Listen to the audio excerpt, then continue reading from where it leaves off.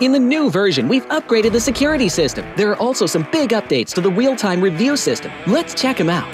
In this update, investigators can use the Eagle system to review suspicious players in real time during matches. Cheaters no longer have anywhere to hide as the investigators' vigilant eyes keep them at bay. If a player is caught violating the rules, investigators can report it in real time via the Eagle system.